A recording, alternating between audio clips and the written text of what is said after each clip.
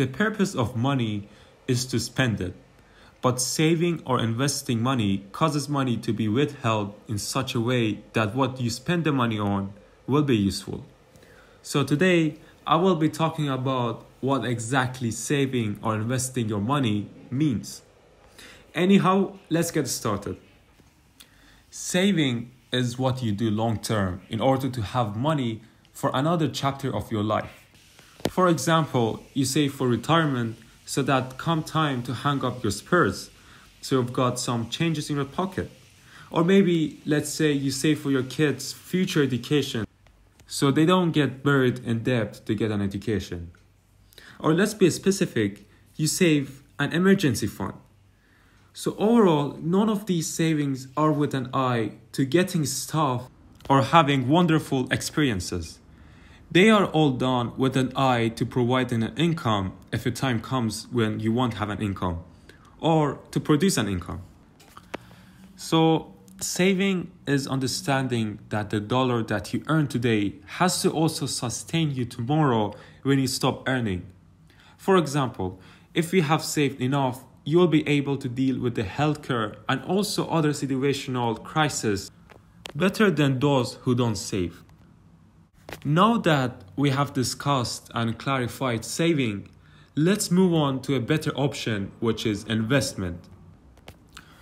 So, investment means that it's an asset or item which is purchased with the intention of producing income or appreciation. So, the term appreciation refers to an asset value that is increasing over time.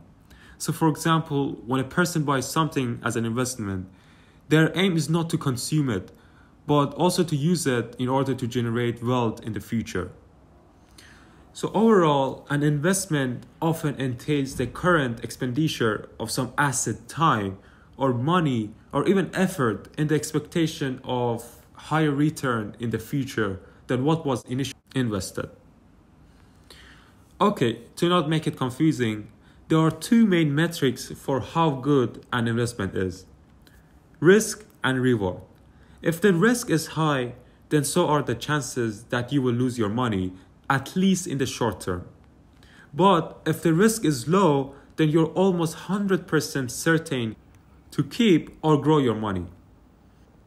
And also, if the reward is high, you will earn lots of money. If the reward is low, then you won't earn lots of money. In fact, you might even lose a little bit of your money. For example, let's say that if you keep your money in your savings account, then it might lose value over time due to inflation.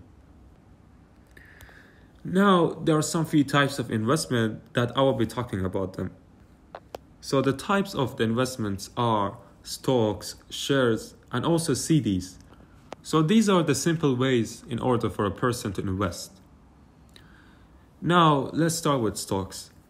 So basically, stocks enables you to invest in a company's equity, which means that you get a residual claim to the company's future profits and also win voting privileges, which is based on the amount of the shares that you own, or also to influence the company's course. But on the other hand, the bonds and CDs these are the debt investments in which the creditor invests money in a project that is supposed to generate more cash flow than the interest owed to the holders.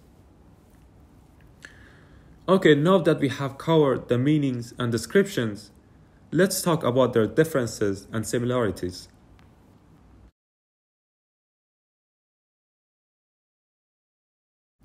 Saving and investing are both important concepts for building a sound financial foundation, but they are not the same thing.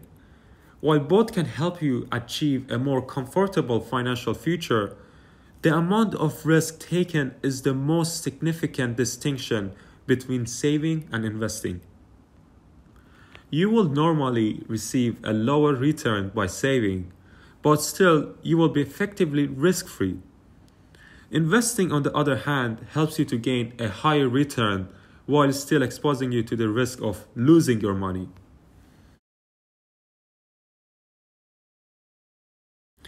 Now, their similarities is that both of them uses specialized accounts with a financial institution in order to accumulate the money.